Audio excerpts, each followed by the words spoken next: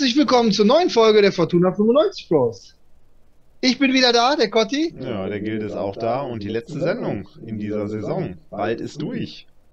Die letzte reguläre Sendung, sagen wir Das mal stimmt. so. Das stimmt. Ja, werden es uns mit Sicherheit nicht nehmen lassen, nach äh, dem Spiel am Sonntag auch nochmal so ein finales Saisonfazit zu machen. Von daher, aber das wird dann eher eine Sendung, da gebe ich dir vollkommen recht, außer der Reihe und dementsprechend heute die letzte reguläre Sendung mit Rückblick, News, wie immer, und dem Ausblick. Ihr seht, ich bin wieder ausquartiert worden. Der kleine, mein kleiner schläft wieder. Dementsprechend muss ich mich ins Exil begeben, wo es äh, ein bisschen ruhiger ist. Dementsprechend äh, wieder die schöne Fototapete. Genau. Darfst nicht so hektisch hin und her ähm, bewegen, weil sonst sieht man wieder Kissen und sonstiges. Ja, ich werde mein Bestes geben. Ich bin leider so ein hibbeliger Kerl. Ja, fangen wir direkt an. Ne? Also äh, Darmstadt zu Gast bei uns in der Arena gewesen. Viel passiert, viel, über das man sprechen kann. Oh ja, war ein geiles Spiel. Also hatte alles. Absolut. Also war spannend bis zum Schluss. Wir haben wirklich eine überragende, wirklich eine überragende erste Halbzeit gespielt. Ein Feuerwerk in den ersten 10, 15 Minuten abgebrannt. War schon geil. Also habe ich so krass nicht erwartet. Das war schon echt eine Dynamik dahinter. Ja. Und vor allem freut es mich ungemein für den Emma Ior, dass er endlich, Ja. endlich seinen ersten Treffer für unsere Fortuna gemacht hat. Und das, das also man hat, glaube ich, ihm auch angesehen beim Jubel, was da für, für, für, für ja, Ziegelsteine ihm vom Herz gekullert sind, was, was für eine Freude der hatte. Und äh, ja, hoffen wir, dass das wirklich auch so die Initialzündung für ihn war. Ähm, aber ja, du hast es erwähnt. Äh, mega. Also wir hätten kaum eine bessere Halbzeit spielen können, bin ich der Meinung. Wir hätten vielleicht nur das ein oder andere Mal wieder nachlegen müssen. Ja, das äh, erste Tor Emma Jor, wir haben es gerade äh, thematisiert, oder ich habe es gerade äh, erwähnt. Das 2-0 auch relativ schnell gefallen und da muss man auch sagen, ein überragender Angriff, ein überragenden Spielter, Spielzug. Äh, schöner kannst du es nicht machen, oder? Ja, hast du genau gesehen, auch den Pass in die Tiefe vom Schinter, das ist ja, ne? Ich sag mal, wie es ein Zehner nicht besser spielen kann, diesen Ball raus auf Felix Klaus, der hat dann die Ruhe, den Überblick dann noch auf äh, den Zimmermann rüber zu passen. Insofern absolut gelungener Spielzug, sah von uns aus, von der Tribüne aus schon mega klasse aus, in den Videos danach. Das war Traumfußball, das hat wirklich richtig Spaß gemacht, ja, muss ich sagen und ist halt ein himmelweiter Unterschied zu vielen Auftritten, gerade im ersten Drittel oder in der ersten Hälfte der Saison. Also das merkt man schon. Da ist eine ganz andere Handschrift zu erkennen. Und äh, trotz Ausfall, erneutem Ausfall von Khaled Narei, ähm, sieht man, dass auch ein Felix Klaus jetzt ähm, anscheinend dann doch zu, ich will nicht sagen alter Form wiederfindet, weil so wirklich klasse Form hat er bei uns eigentlich auch noch gar nicht gehabt. Aber jetzt in dem Spiel war er für mich auch ist immer schwer zu sagen Man of the Match, aber für mich war der Man of the Match mit zwei Assists und auch mit vielen guten Szenen, noch ein Pfostentreffer. Ähm, hat auch viel auf die Socken bekommen, muss man sagen. Also der war absolut voll im Spiel drin. Bin ich, bin ich absolut bei dir. Wahrscheinlich das beste, ja, das beste Spiel von Felix Klaus im, im Fortuna-Dress, würde ich behaupten, aus dem. Weil, äh, Ja, Das war wirklich überragend, äh, wie er da die Vorlagen auch gegeben hat. Du hast die Chance erwähnt, die am Pfosten landete. Ich kann mich noch an einen Durchbruch über rechts erinnern, wo er den Ball in die Mitte gibt, wo er aber nur leider keinen erwischt. Also Mhm. äh, super Spiel gemacht und äh, ja, äh, Darmstadt hat eigentlich gar nicht stattgefunden. Nee, die sind nicht ins Spiel reingekommen, wir haben es aber auch nicht zugelassen. Und das trotz überragendem Support. Da waren locker viereinhalbtausend Darmstädter, wenn nicht sogar mehr in der Ecke, mit wechselnden Choreos. Äh, zu Beginn des Spiels, dann während der Halbzeit, beziehungsweise zu Beginn der zweiten Halbzeit. Äh, höchsten Respekt und auch so die Kontakte, die man hatte ähm, auf dem Weg zum Stadion. In der Altstadt später war man noch ein bisschen unterwegs. War auch trotz Niederlage allesamt äh, nett in Ordnung, kann man nicht klagen. Also die haben da schon ordentlichen Support auch geleistet und äh, ja, Natürlich für Darmstadt es in der eigenen Hand zu haben in zwei Spielen enorm bitter, dann doch so unter die Räder zu kommen in der ersten Halbzeit. Ähm, man musste natürlich damit rechnen, dass sie dann in der zweiten Halbzeit nochmal gestärkt, verändert auch zurückkommen. Das haben sie auch getan. Aber ähm, hätten wir jetzt nicht, ich sag mal, in Anführungsstrichen das Geschenk mit dem Elber gemacht, wäre da, glaube ich, auch nicht so wahnsinnig viel passiert. Klar, ein paar Szenen waren dann auch nicht mehr zu vermeiden, aber auch da sieht man einen Fortschritt. Wir haben am Ende halt nicht so extrem gezittert und haben es dann irgendwo so weit in unseren Strafraum drängen lassen, dass dann irgendwo folgerichtig der, der Ausgleich fiel. Das haben wir nicht gehabt im Vergleich zu vielen anderen Spielen. Auch da meine ich, einen Fortschritt erkannt zu haben. Ne, wenn gleich ein Spiel, was so eng ist, natürlich immer sich nochmal ändern kann. kann. Klar kann immer kippen natürlich. Ne? Also man hat das äh, kurz gemerkt, du hast den Elfmeter angesprochen, da komme ich gleich nochmal drauf. Ähm, ich kann mich erinnern an, eine Szene unmittelbar nach dem, nach dem Anschlusstreffer. Da hat Tanaka den Ball, ja, äh, so geistesabwesend mhm. verloren, ja. geistesabwesend verloren und das wäre es dann gewesen. Ne? Also da war kurz dieser, dieser Schockmoment wieder, da wäre der 2-2 fast gewesen, den hat mhm. der Flo Kastenmeier dann noch gut gehalten. Ja.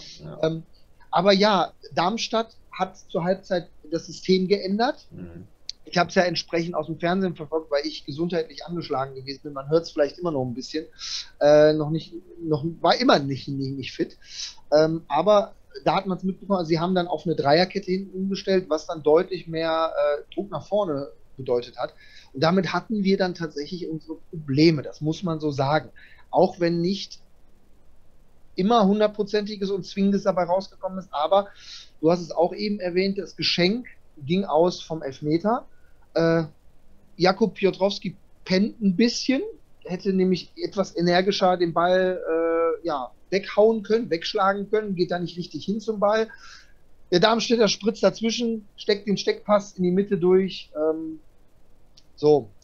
Es gab Konfusion. Also ich habe relativ schnell gesagt, das ist ein Elfer, weil danach war ja gar nicht im Spielverlauf, zumindest nicht im Stadion direkt klar, was hat er jetzt gegeben, weil es ja eine relativ lange Behandlungspause für ja. den Flo Kastenmeier gab.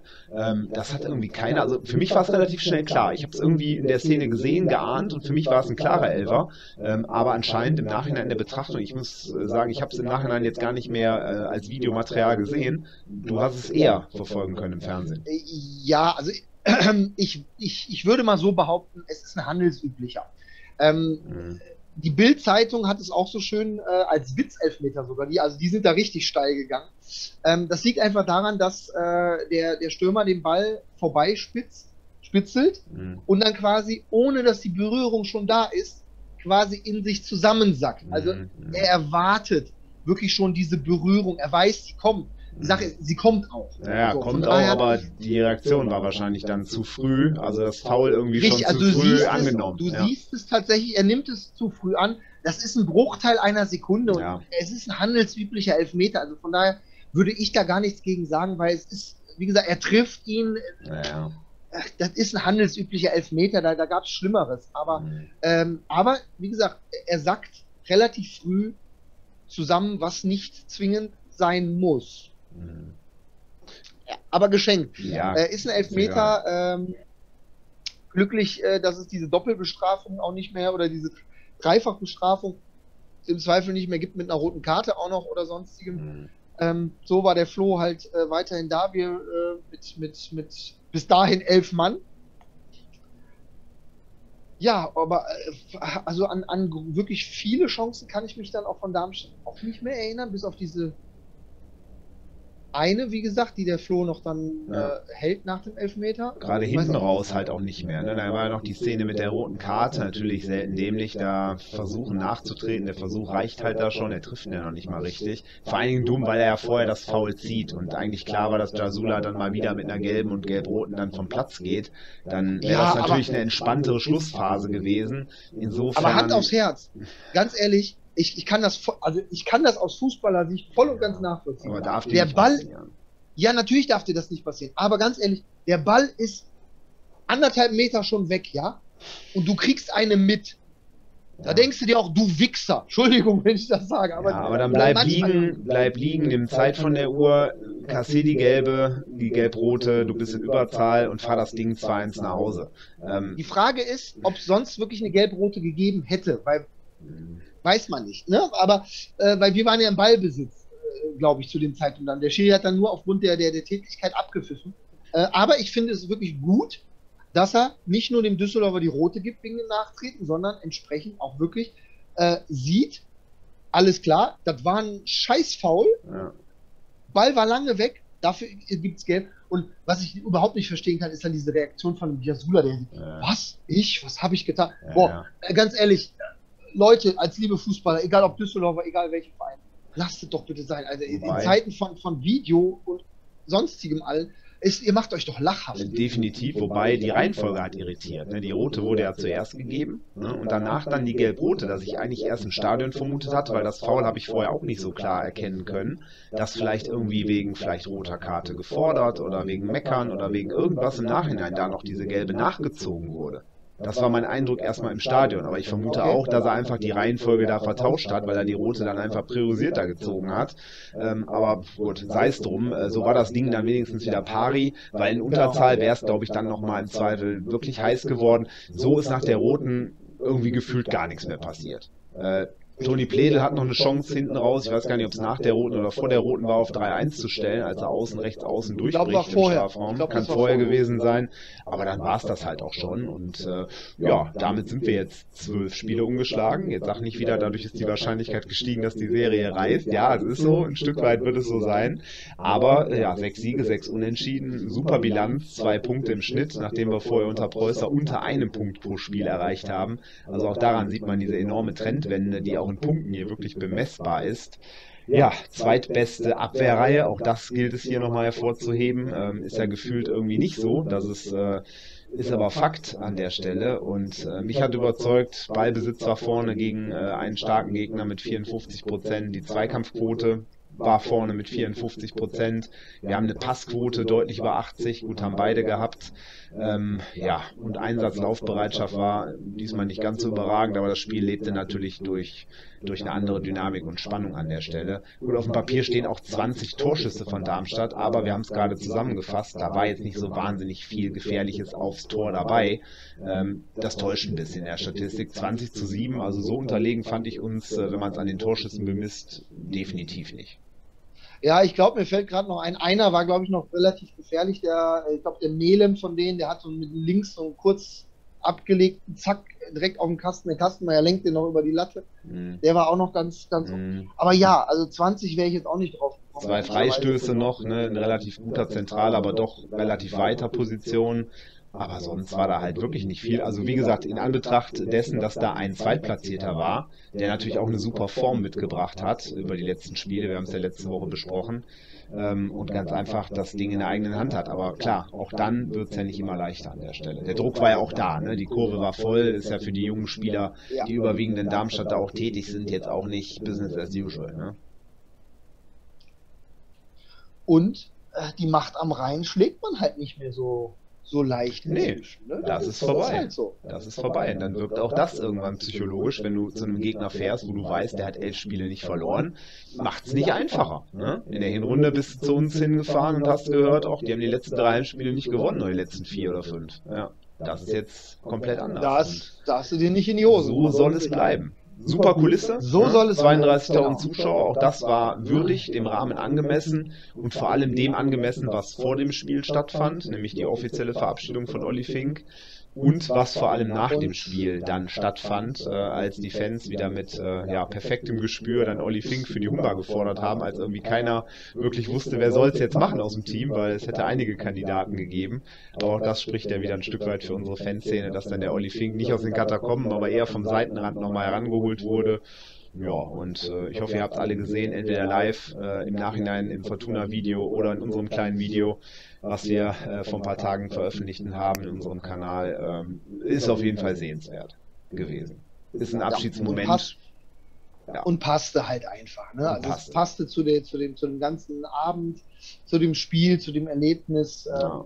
ein, ein würdiger Abgang äh, auf großer Kulisse, äh, auf kleiner Kulisse, etwas kleinerer würde er vielleicht noch haben. Kommen wir, kommen wir bei den News gleich nochmal kurz drauf zu sprechen. Ja. Aber äh, ja, eine Legende, die äh, für die Fortuna sehr, sehr viel bewegt hat und lange, lange Zeit auf dem Rasen gestanden hat, hat Tschö gesagt und wird uns allerdings glücklicherweise erhalten bleiben. Ja, 13 Jahre plus X ist da die Devise. Ne? 2009 bis 22 in aktiver ja, Laufbahn bei uns, erste und zweite Mannschaft und jetzt äh, in einer noch nicht genau bekannten Definition ähm, im Nachwuchsleistungszentrum. Ja. In diesem Sinne, machet gut, Olli. Genau.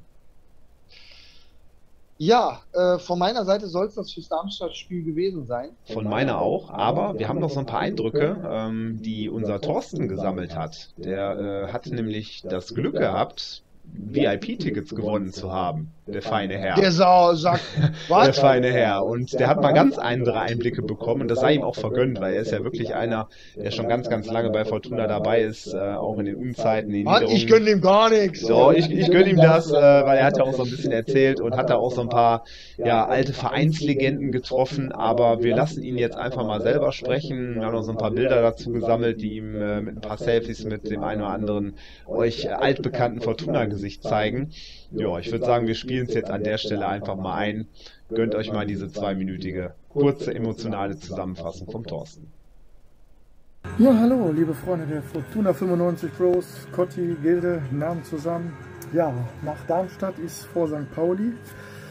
Ich hatte das Darmstadt-Spiel mal aus einer anderen Sicht sehen dürfen. Ähm, ich hatte VIP-Tickets gewonnen und ähm, das ist schon imposant, was wir da so ähm, stimmungstechnisch auf die Beine gestellt haben. Man ist natürlich ähm, komplett aus einem anderen Winkel überall dran und äh, ja, das war schon schön und äh, toll. Man hat auch den ein oder anderen äh, netten Herren getroffen. Ähm, Michael Steffes Holländer, damals ähm, äh, ich glaube, Vorstandsvorsitzender bei Fortuna, äh, hatte mich sogar wiedererkannt, weil wir beide in Babelsberg seinerzeit bei dem vermeintlichen Abstieg am St äh, Zaun standen.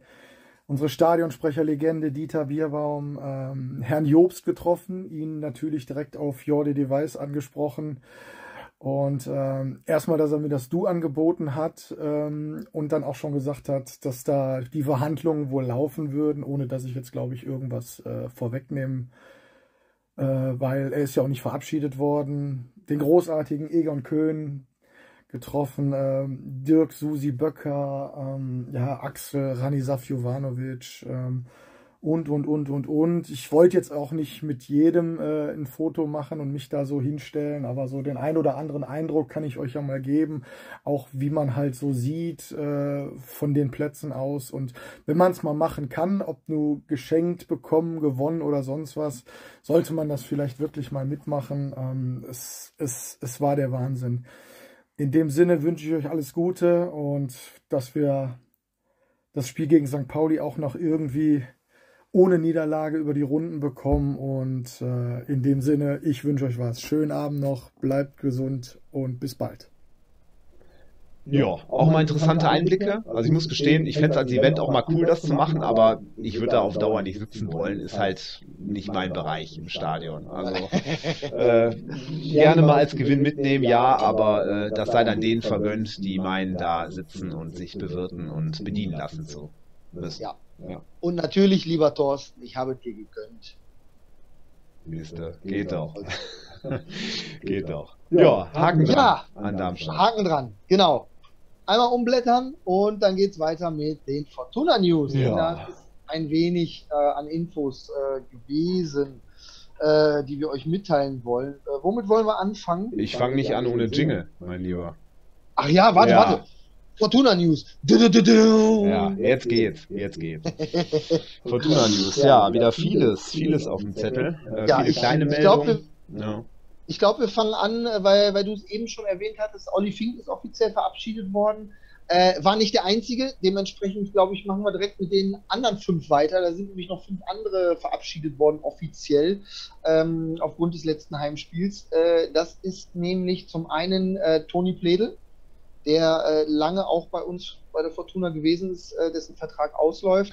Hat Florian aber nicht, Hartherz. Hat aber, lass mich da kurz reingrätschen, aber irgendwie klar wurde er verlängert sein Vertrag nach der Verletzung, hat aber dann nicht wirklich eine Chance bekommen, ne? obwohl er in den Testspielen gute Leistungen gebracht hat, hat aber dann trotzdem irgendwie nicht reingefunden und dementsprechend ist es dann auch irgendwo folgerichtig, wenn man jetzt sich dann auch trennt und äh, gut, so hat er zumindest eine Chance irgendwo jetzt ähm, als dann nicht mehr verletzter Spieler sicherlich auch eine bessere Vertragskonstellation zu finden, als es letzten Sommer der Fall gewesen wäre nach der schweren Verletzung. Insofern glaube ich, ist es trotzdem Win-Win für beide irgendwo gewesen, hat unseren Kader ergänzt und auch punktuell ja das ein oder andere Minütchen äh, Einsatzzeit auch noch bekommen, aber ja, ist glaube ich nicht verkehrt, das Kapitel dann doch jetzt zu beenden, wenn man es mal rein sportlich sieht.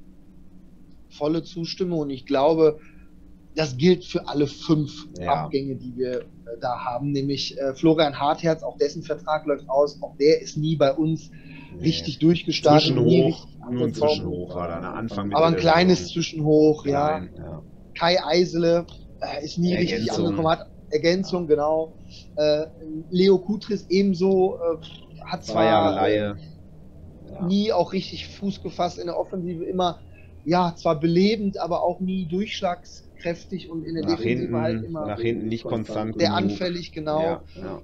ja, und ein, ein Robert Bojenik äh, hat zwar äh, hier und da mal aufblitzen lassen, dass er für Tore gut ist, hat aber vielleicht sich selbst so ein bisschen auch die Tür verbaut oder die Tür zugemacht mit seinen Kommentaren, die er da vielleicht abgegeben ich glaub, hat. das war ein Verhaltensthema, was dann nicht reinpasst ja, ins Team, also, wo der Coach auch gesagt hat, Leistung ist sicherlich ein Aspekt, aber irgendwo, ne? Mannschaft, Einstellung, Moral ist dann halt auch eine wichtige Komponente. Ich hätte ihn wirklich gerne häufiger gesehen, weil wenn er gespielt hat, hat er mir durchaus gefallen, hat ja auch ein paar Buden gemacht.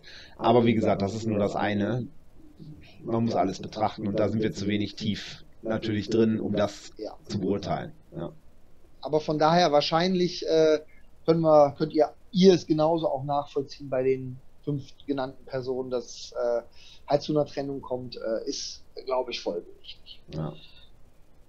Ja, dann äh, machen wir weiter? Äh, Verletzungen. Verletzungen. Gekommen, ja, ne? machen wir das so. Da war einiges, genau. Ja. Äh, aus dem Darmstadt-Spiel hat sich äh, ja bereits beim Elfmeter, wir hatten es eben thematisiert, der liebe Flo Kastenmeier äh, doch etwas äh, stärker verletzt. Der hat sich nämlich ein Joch, eine Jochbeinprellung zugezogen mhm. und fällt entsprechend für das letzte Spiel aus. Spannend jetzt zu sehen, ob es ein Abschiedsspiel für Raphael Wolf gibt. Wird es überhaupt oder, ein Abschiedsspiel oder wird vielleicht Dennis Gorka als junger Torwart mal reingeworfen? Da sind wir mal gespannt, wer am Sonntag da zwischen den Pfosten steht. Aber ähm, ja, wie gesagt, ist jetzt sicherlich für so ein letztes Spiel nicht entscheidend. Aber dennoch da, weil das hört sich doch sehr schmerzhaft an.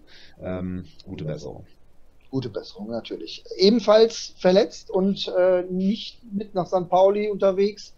Äh, zum Abschluss Schinter Appelkamp, Muskelfaserriss. Ja Anfällig, auch das, ne? muskulär leider. Das, das ist das. Also auch da jetzt nicht schlimm Ende der Saison, aber es ist jetzt wirklich wiederholt. Und äh, das macht so ein bisschen Sorge, ne? dass wenn ein junger Spieler wirklich so häufig, häufig Muskelverletzungen hat, dass das ein Problem ist. Das erinnert immer so ein bisschen damals an den, äh, an den Bolli. Erinnerst du dich noch an den? Der halt immer. Ja, aber der war ganz extrem. Natürlich auch der als Sprintertyp, aber auch da der gefühlt in jedem Sprint dritten gemacht. Spiel der, der Muskel dann gezwackt hat. Ja. Und äh, ja, das sehe ich so ein bisschen mit Sorge, weil den Schinter brauchen wir natürlich im nächsten Jahr. Äh, Im Idealfall in einer guten, sehr guten Form, wenn wir mehr erreichen möchten. Und äh, da ist dann so ein Muskelausfall, der sich gerne mal über drei, vier, fünf Spiele dann auch ziehen kann, bis er wieder voll fit ist, äh, natürlich sehr hinderlich. Ne? Das müssen wir beobachten und hoffen, Natürlich. dass die medizinische Abteilung das in den Griff bekommt. Drücken wir die Daumen, aber auch hier gute Besserung natürlich. Ja. Äh, ja, gesellen sich zu den, zu den drei anderen Verletzten mit den Rippen, äh, mit den Rippengeschichten, Device, Botzek und Sobotka, die entsprechend auch natürlich fürs letzte Spiel ausfallen, ja. aber die sich wieder im individuellen Training bereits befinden. Genau. Ein bisschen weiter sind Ruben Hennings und Khaled Narei, die sind nämlich wieder Mannschaftstraining, dürften wahrscheinlich dann auch eine Option sein für Pauli, gehe ich mal recht stark von aus. Genau wie Edgar Pripp, der hat nämlich seine Gelbsperre abgesessen. Auch wieder eine Option für St. Pauli. Daniel Ginzek wird fehlen. Zwei Spiele Sperre. Damit hat er eigentlich noch ein recht mildes Maß bekommen. Wobei es natürlich bitter ist, im letzten und vor allem dann im ersten Saisonspiel zu fehlen, weil du bist in der Vorbereitung, du fieberst auf den Saisonauftakt, egal gegen wen es dann geht. Äh, Pauli wäre für ihn natürlich interessant gewesen, weil er hat da auch mal gespielt. Ne? Ist ja immer was Schönes, dann zu seinem Ex-Verein zurückzukehren und dort dann auch aufzulaufen. Äh, aber gut, das hat er sich selber zuzuschreiben. Ne? Da haben wir gerade schon drüber gesprochen ja. im Rückblick. Ja. Äh, er hat aber noch Glück gehabt, hätte auch mal schnell drei, vier Spiele Sperre sein können. Ist vielleicht jetzt auch dem Saisonende geschuldet, dass man gesagt hat, machen wir das letzte, machen wir das erste so als Kompromiss, man weiß es nicht. Ja, vielleicht. Aber es ist definitiv äh, für ihn natürlich auch ganz bitter. Ich habe, glaube ich, irgendwo gelesen, dass äh, Daniel Thune jetzt natürlich mit ihm sprechen wird, muss, weil er natürlich trotzdem von ihm möchte, dass er eine, eine äh, vernünftige Vorbereitung spielt und äh, motiviert ist. Und das ist natürlich schwer, wenn du weißt, dass äh, du im ersten Spiel ja. sowieso nicht von vornherein. Eine Woche später, ganz ehrlich, bei drei Spielen sperren hätte ich das als Argument gesehen, aber nicht bei einem. Da brennt ja, dann umso mehr aufs zweite Spiel, oder? Ja, das, das ist so nah aneinander, das ist eine Woche später. Das ist richtig, aber du wirst bei sämtlichen Trainingseinheiten nie zur ersten Elf gehören. Ja. Bei ja. sämtlichen äh, Sommer-Testspielen äh, oder sonstiges, weil der Trainer nicht mit dir im ersten Spiel äh, planen kann. Das ist ja. nun mal, da, damit musst du als Spieler umgehen können. Ja, er ist erfahren und wird hoffentlich daraus lernen. Gehe ich auch von aus. Da gebe ich dir natürlich recht. Ja, ja dann ähm, eine Meldung, die heute gekommen ist, das finde ich ganz schön. Unser Haupt- und Trikotsponsor bleibt der gleiche, nämlich hier. Ja. Einmal die lieben äh, Chemiker von Henkel. Support Your Local, beidseitig. Ja, ist für uns sicherlich ein guter, ähm, ein guter Verhandlungspartner gewesen und äh, sind wir froh, dass wir das als lokales Unternehmen weiter auf der Brust haben, das ganz einfach zur Fortuna auch passt. Historisch ja auch schon mal früher äh, Trikotsponsor war, jetzt auch im dritten Jahr dann schon, ne? War glaube ich zwei Jahre äh, bis dato der Vertrag gewesen, genau. Ja, äh, passt, gibt's glaube ich nichts anderes in der Bewertung zuzusagen. Ja. Dann ähm, der Vollständigkeit halber, wir hatten es eben beim Rückblick erwähnt, die Humba von Olli Fink. Sein letzt, letzter großer Auftritt auf großer Bühne, wer ihn auf kleiner, vermeintlich kleiner Bühne äh, nochmal sehen möchte, ihr könnt es nämlich zu einer großen Bühne machen. Jetzt am Samstag, äh, das letzte Spiel unserer zweiten, wo Olli Fink im Zweifel auch noch mitwirken wird. Wird er, wird er. Das ist auch über die, über die Kanäle gegangen, dass das sein Abschiedsspiel wird. Du hast auch im Stadion waren äh, Banners von den, äh, waren Banner von den Ultras auch aufgehangen, äh, wo eben 14.05. dazu aufgerufen wurde, im Stadion zu erscheinen. Da kannst du stark von ausgehen. Er hat die letzten Spiele für die zweite ja nicht gemacht. Ich habe nochmal jeweils in die Kader und Aufstellung der letzten Spiele geschaut. Letztes Spiel ist, glaube ich, vier oder fünf Spiele ungefähr her. Ähm, ich glaube, dass er bewusst da auch für dieses letzte Spiel geschont wurde, dass er das nochmal so als Abschiedsspiel zu Hause in Flingern dann machen kann. Und äh, ja, ihr könnt online noch Tickets bekommen. Ich hatte die Tage auch nochmal reingeschaut. Äh, für einen schlappen Zehner gibt's da für die Hauptseite noch Karten. Ja, äh, hat er sicherlich verdient, da einen nochmal schönen Rahmen ähm, auch zu bekommen. Und äh, ja, nochmal den kleinen Abschied zu genießen. Den großen hat er ja schönerweise auch gehabt. Genau. Ja, dann schauen wir auf die Leihspieler. Da äh, haben wir ja immer dieses kleine Update, was Fortuna freundlicherweise uns ja auch immer zur Verfügung stellt. Das ja. finde ich immer ganz spannend. Ähm, ja, fangen wir an mit, mit Jamil Siebert bei Viktoria Köln. Die haben nämlich äh, den ersten FC Kaiserslautern schön geärgert, mhm. äh, haben 2-0 gewonnen und äh, ja, sind entsprechend äh, in der Klasse geblieben Richtig. in der Liga. Und äh, ja, Kaiserslautern hat daraufhin sogar den Trainer. Ja, Lautern brennt der Baum. Vor der Relegation gegen Dresden werden natürlich zwei spannende und schöne Spiele zweier Traditionsvereine. Kann man sich durchaus noch darauf freuen nach der Saison. Äh, ja, das ist schon eine harte Sache, ne? dass man den da jetzt geschafft hat. Aber gut, soll nicht unser Thema sein. Ähm, Niklas Schipnowski, ein weiterer Leihspieler in Regensburg, ist das vierte Mal in Folge in der Startelf gewesen. Ja, 0-2 gegen Heidenheim, die Saison war durch. Äh, ja, nicht schön, nicht viel aufgefallen, aber hat zumindest auch wieder gestartet. Und zu guter Letzt, äh, David Kovnatski ist auf dem Weg zur polnischen Meisterschaft. Lech Posen hat sich jetzt ein bisschen absetzen können, ist zwei Punkte vor dem zweiten in der polnischen Liga, sind allerdings noch ein paar Spiele zu gehen. Mit dem 2-1 Auswärtssieg, aber er war nicht im Kader. Richtig, hat da nicht, nicht wirklich zu beitragen können, aber zwei Spiele sind es meines Wissens, glaube ich, noch. Ja, mindestens Und, zwei. Äh, ja. Mhm. Dementsprechend, ja, drücken wir ihm die Daumen. Genau.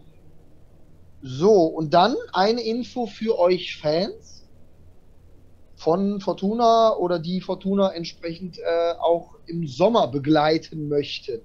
Da gibt es ja so ein paar Verrückte von euch, die Fortuna wirklich überall hin folgen.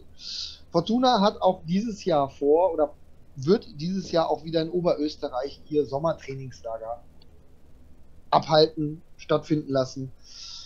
Äh, Im Mühlvierteler Hochland. Ich habe keine Ahnung, wo das ist, um ehrlich zu sein. In aber Oberösterreich. ihr werdet es in Oberösterreich, ihr werdet es genau wissen. Und äh, ja, wer zeitlich auch vor Ort sein möchte, wenn die Fortuna da ist, der müsste vom 20. bis zum 27. Juni sich dorthin begeben.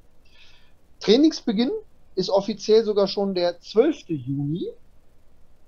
Und das ist echt kurz dieses Jahr. Also wir haben dieses Ja. Jahr echt eine sehr kurze Sommerpause. Geht ja schon wieder Mitte Juli los, leider noch mitten in den Sommerferien. Da werde ich wahrscheinlich leider auch die ersten zwei Spieltage verpassen, weil ich da auch noch im Urlaub sein werde. Aber sei es drum, äh, wir wissen ja, äh, dass für die WM in Katar vieles möglich gemacht wurde, unter anderem dieser sehr frühe Saisonstart. Was ne Scheiße. Ja, das Gut, das äh, war das Wort für die News. Richtig. Und dann Ausblick auf das letzte Spiel Pauli. Saison 21, 22 von Pauli. Dann haben wir es geschafft. Dann haben wir die zweite Saison durch, lieber Cotti. Obwohl wir die erste ja nicht voll mitgemacht haben. Mit Ich wollte gerade sagen, aber dann haben wir mal eine wirklich voll durch. Eine voll, ja. Du hast es äh, ja in der Vorbereitung schon so ein bisschen gesagt. Klar ist das irgendwo das Spiel um die goldene Ananas. Klar, es geht noch für uns um Platz 9. Den können wir bestenfalls noch erreichen. Schlechtestenfalls sind wir Elfter. Das steht schon fest, weil sonst müsste, glaube ich, der Zwölftplatzierte irgendwie 14 Tore oder so auf uns aufholen. Das ist dann doch eher unwahrscheinlich. Äh, aber klar, wenn wir noch Neunter werden sollten, gibt es sicherlich noch den einen oder anderen Euro mehr und das könnte auch relativ viel an Euros sein äh, nach der TV-Tabelle. Und das sollte natürlich das Ziel sein, neben eben dem Ziel, mindestens ungeschlagen zu bleiben und den Lauf einfach mitzunehmen. Ähm, ja, und ich glaube, da haben wir ganz gute Chancen, weil wenn man mal auf Pauli schaut, nach der jetzt doch sehr, sehr, sehr bitteren Niederlage auf Schalke, womit ja im Prinzip alle Hoffnungen begraben wurden, auch da müssen wir realistisch sein. Ähm, es sind zwar nur drei Punkte Abstand, aber es fehlen schlappe 18 Tore, um da an den anderen entsprechend vorbeizuziehen. Ja, du hast es vor allem gerade, äh, glaube ich, schon anreißen wollen. Ich habe es mal bildlich mit eingebaut. Was halt alles entscheidend äh, ist, wenn man sich anschaut, nach der Hinrunde äh, war St. Pauli noch auf Platz 1 und da Ja. haben alle davon gesprochen, ja, da, äh, die werden sich das nicht mehr nehmen lassen. Und, Zu Recht, äh, geile Hinrunde, ne? 34 Ja. Punkte, 35 zu 17 Tore, das war schon sehr überragend. Ne? Ja. Absolut. Aber wenn man sich dann jetzt nämlich mal die Rückrunde anschaut, das haben wir hier mit in der Mitte mal festgehalten, Ja. ähm, äh, da ist man ordentlich eingebrochen. Da ist Ja. man nämlich mit 18 Punkten lediglich auf Platz 13. Ja. Äh, selbst wir haben mehr geholt. Ähm, und äh, ja, das ist äh, entsprechend äh, wirklich wenig. Wenn man sogar noch einen Schritt weiter geht, ich habe es noch hier einmal festgehalten, in der Formtabelle Mhm. nimmt man die letzten sechs Spiele tatsächlich ja. ist St. Pauli letzter, weil Ja. man in den letzten sechs Spielen nicht einen Sieg eingefahren hat. Und das reicht dann nicht. Also trotz Vorsprung hinten raus musst du halt dann auch eine Ja, gewisse sechs Formkonstanz haben. Äh, Keine Chance. Also Guckt, guckt dir mal an, in, im Vergleich in den sechs Spielen haben Hamburg und Ja. Schalke 15 Punkte geholt. Ja, und, und das sind äh, genau Pauli die, die Gegner und da siehst du halt hinten Also- raus, das sieht dann halt und äh, das wirst du auch nicht mehr ähm, entsprechend dann kitten können, das ist durch. Dementsprechend natürlich aus Sicht von Pauli, die trotzdem beste, Hin äh, beste Heimmannschaft bleiben werden, egal wie das Spiel gegen Fortuna ausgeht. Auch daran sieht man, wie heimstark Und das ist, die aber, sind. Ne? Aber das ist, das ist, das ist Wahnsinn, musst du dir das mal vorstellen. Du hast seit sechs Spielen nicht mehr gewonnen. Ja. Du hast äh, bis in der Rückrunde nur Platz 13 und bist trotzdem die beste Heimmannschaft der Liga. Das wollte ich damit sagen. Das ist, und wie gesagt, egal wie das letzte Spiel ausgeht, das steht jetzt schon fest. Ne? Also auch da, Stichwort Torverhältnis, könnte es noch drehen, aber punktmäßig wirst du da Erster bleiben. Das ist enorm, aber halt auch irgendwo bitter, ne? dass man es ganz einfach da auch äh, ja, verdattelt hat. Es hätten ja ein, zwei Siege mehr hätten ja gereicht und du wärst wahrscheinlich safe Dritter Ja, gewesen. locker. Aber hätte, hätte, es ist so wie es ist, haben natürlich auch Pech gehabt mit äh, einer Corona-Welle nochmal vor zwei Wochen vor dem Schalke-Spiel, muss man auch dazu sagen. Ja, jetzt kommen gegen uns noch ganz, ganz viele Sperren dazu, weil man hat sich noch eine gelb-rote und auch eine glatte rote Karte im Spiel gegen Schalke geholt. Das betrifft den Beifuß und auch den Matanovic, den zweifachen Torschützen auf Schalke. Die sind nicht dabei. Äh, Dann hat sich die fünfte Gelbe auch noch der Aremu und vor allem der Kieré geholt, der auch, wir haben es gerade ganz kurz schon aufblitzen sehen, wir gucken gleich nochmal detailliert drauf, einer der Topscorer von St. Pauli ist. Ja, und verletzt kommen auch noch ein paar dazu, sodass ich mindestens zehn Ausfälle hier auf dem Zettel habe. Ja, Pauli hat einen großen Kader, 30 Mann, aber auch das kannst du dann irgendwann nicht mehr kompensieren. Das hat man sicherlich auch auf Schalke jetzt schon ein Stück weit auch gesehen, äh, wo man ja eigentlich sogar super ins Spiel reinkam, ne? mit einer 2 zu 0 Führung irgendwo auch, äh, ich sag mal, die Halle doch eher erstmal zum Schweigen gebracht hat. Im Zweifel die Schalker schon weinend in der Halbzeit äh, schon das Schlimmste befürchtet haben zum Saisonende. Aber es hat sich dann ja doch äh, deutlich gedreht und auch da, ne, Spielpech, irgendwo ein früher Elfmeter gegen Pauli und dann irgendwann ist deine Moral ganz einfach auch gebrochen. Ja, ich glaube nicht nur die Moral, sondern auch einfach, die waren platt. Also da, da hast du gesehen, ja. die waren einfach nur, nur irgendwann mal nicht mehr in der Lage. Ja. Äh, ist natürlich mit Sicherheit auch der Corona-Geschichte geschuldet, ne? wenn du nicht vernünftig trainieren ja. kannst und alles. Das, das gerade im Saisonendspurt geht dir das vollkommen ab. Und was natürlich ungemein wehtut, ist, äh, du hast es gerade angesprochen, ähm, mit, mit dem Kieré, der einer ja. der Topscorer ist. Ähm, wenn dir natürlich auch noch der Topscorer schlechthin, Guido Burgstaller, fehlt. Auch noch weg ja, ist, ja. Das tut natürlich auch enorm weh. Der hätte natürlich wahrscheinlich auch gerade gegen seinen Ex-Club Schalke ja, sehr, sehr gerne gespielt. Da kam viel zusammen. Dann reicht es halt auch nicht. Also, ähm, Guido Burgsteuer tatsächlich mit, mit insgesamt 26 äh, Scorerpunkten der drittbeste Scorer der Liga. Ja. So, also äh, da hat äh, St. Pauli natürlich sehr, sehr viel von, von ihm auch gelebt. Und ähm, ja, du hast es erwähnt, ich, ich, ich, bin gespannt, was, was für ein Spieler auf uns zukommen wird, weil äh, es, es, auf die Statistik können wir zwar gerne auch nochmal gucken, um ehrlich zu sein, aber die Frage ist, inwieweit ist man jetzt zu bewerten. Ja, gerade wenn ja, wir so viele Ausfälle haben und Corona-bedingte ja. und Gelbsperren und und und. Die werden so noch nie gespielt haben, wie sie am Samstag spielen. Und äh, wir dagegen werden mit einer eingespielten Truppe da sein und werden ganz einfach auch sicherlich die Erwartung äußern dürfen, dass wir das Ding da auch holen. Und äh, ja, lasse ich jetzt einfach mal so stehen. Ja. Denke ich auch. Ähm, ja, wenn wir nicht verlieren, bin ich auch zufrieden. Also ich erwarte jetzt nicht zwingend da, dass wir da gewinnen müssen. Äh, ich würde mich freuen, wenn wir wirklich mit 13 ungeschlagenen Spielen aus der Saison rausgehen, diesen Lauf dann als einer der besten auch Rückrundenmannschaften dann im Idealfall mitnehmen ähm, in die neue Saison und äh, ja, ganz einfach da ganz anders in die Saison reinkommen. Das würde mich schon freuen.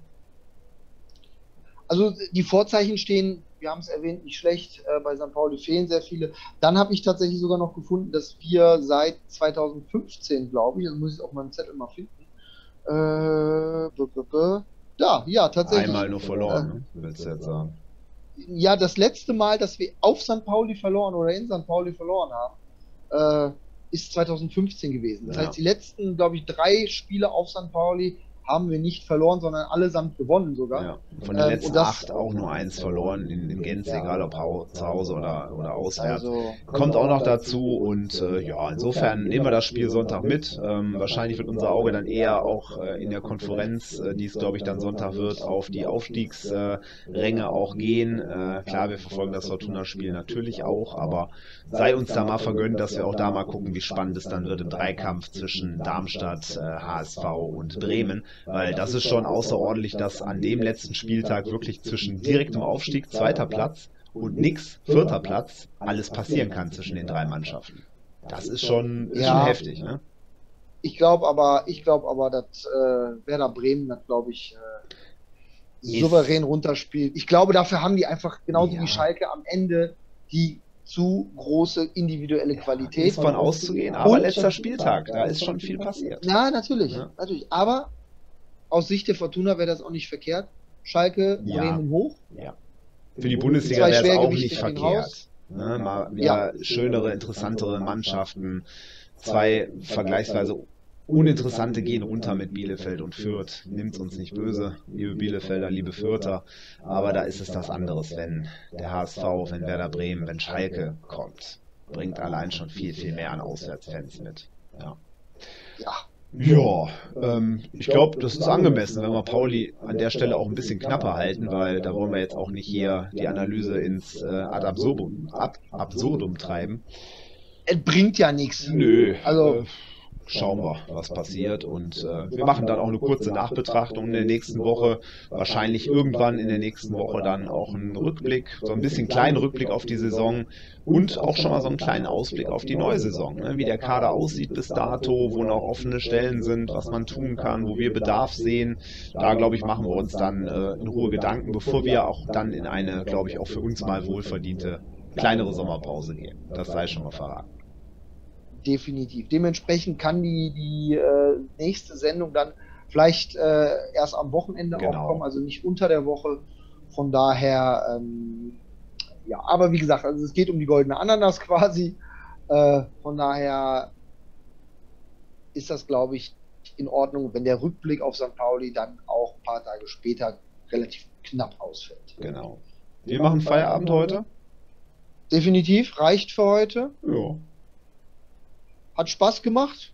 Definitiv. Auch wenn es relativ ruhig ist. Es, es, ist halt immer was anderes, wenn es halt emotionsloser ist, wenn es ein bisschen, oh, jetzt bin ich weg, guck mal. Ja, oh, hatte ich schon vorher das. keine Lust mehr. Ja. Nee, äh, ist, ja, wir wissen alle, dass es, dass es halt jetzt wirklich um nichts mehr geht und äh, die Saison Gott sei Dank nicht im Worst-Case-Szenario geendet ist, äh, wie wir das zwischenzeitlich alle uns gedacht haben.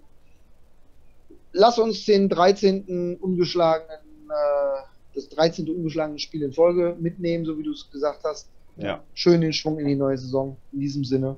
Eure Fortuna Achtet gut. Bros. Macht's gut. Bis demnächst. ciao. ciao. ciao.